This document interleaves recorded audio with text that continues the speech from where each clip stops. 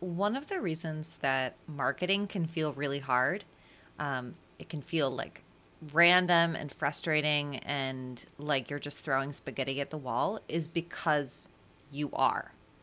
You are trying things, you're not fully clear about whether or not those things are working. You only do things for a few days or a few tries. You don't really give them enough time to actually work. But one way that we're able to give our clients uh, a lot of clarity very early on is by digging into their Google Analytics account and having them do that. The one thing that allows us to get data right away is if they have already set up something called goals in Google Analytics. And so I am going to assume that you will be coming to work with us inside Get Paid Marketing at some point. If you want to get a customized marketing plan to help you sell more of your online courses or to help you fill your group programs with more people, your masterminds, your memberships, what have you. You can keep throwing spaghetti at the wall if you want, or you you can come in we can work intimately together. We can get on your ad accounts. We can see all of the areas that could be optimized for more conversions, for more traffic. And then as you implement, you get personalized feedback on sales pages, emails, things like that. Everything that you're going to need in order to actually make sales.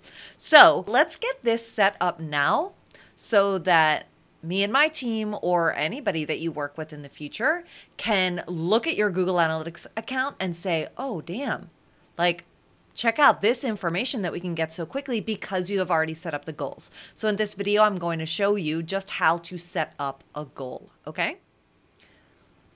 So let me just take a second to explain what a goal is. It's going to be really some time that people take an action that you want them to take. And so the simplest thing to set up is goals related to your opt-ins, related to any webinar signups, uh, lead magnet, anything where people are giving you their email address for free. That is just incredibly simple to set up and then helpful when you're actually looking at the data. Okay, so I am here at home. I'm going to admin. I'm going to come over to goals.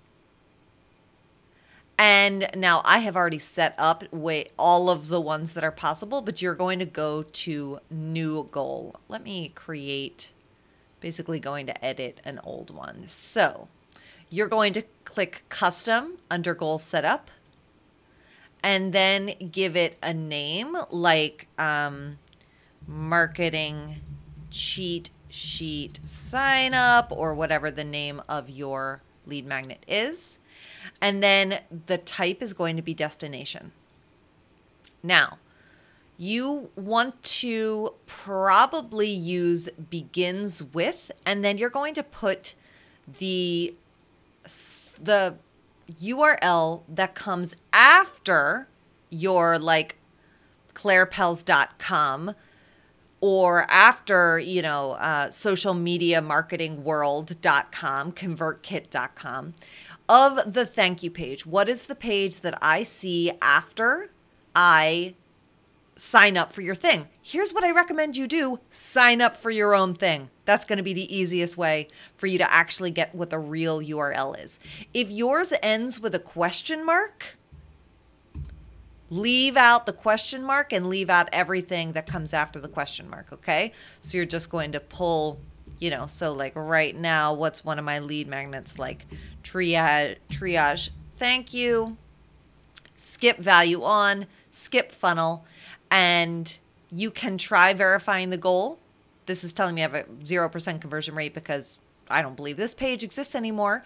Uh, but if you actually have this page and you've had Google Analytics on both of those pages, both the opt in and the thank you, then you should actually see a percentage.